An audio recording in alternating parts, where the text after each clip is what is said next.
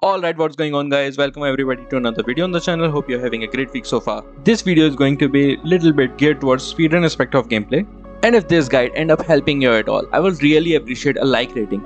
That's all I ask in return. And of course, if you guys want to see more content like this, please make sure to subscribe if you're new.